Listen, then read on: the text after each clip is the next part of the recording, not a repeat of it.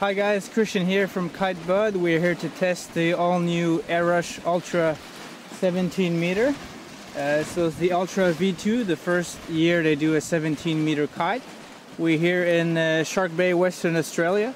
The wind's fairly light. I'm just going to take a reading now. So we got about anywhere from 6 to, I would say maybe 8 knots in a gust.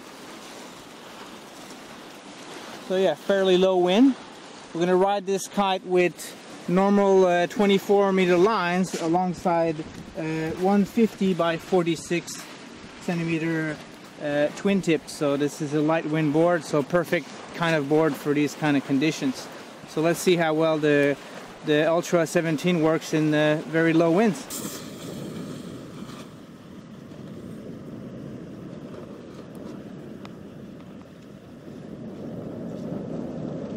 So as you can see the kite handles really well even in the lower parts of the wind window.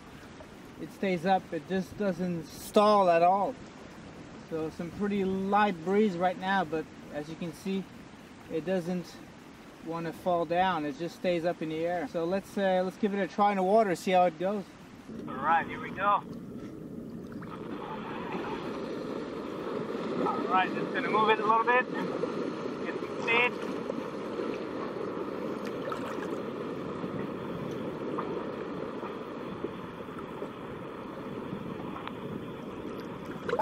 Alright, plenty of power now. Don't need to, don't need to move the kite so much anymore. There it goes.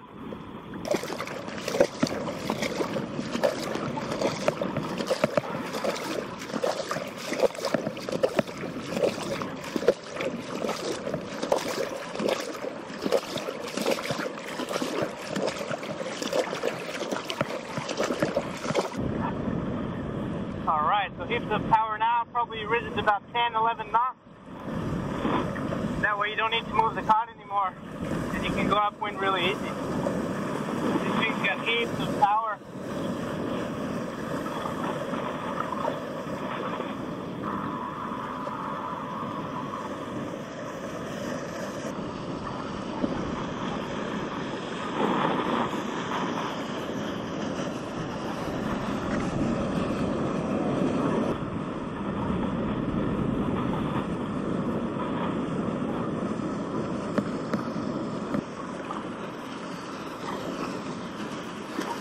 Alright, so yeah, excellent kite, guys. So if you're a heavy rider, you're looking for uh, some light wind performance, 17 meter ultra, it's definitely going to do it for you.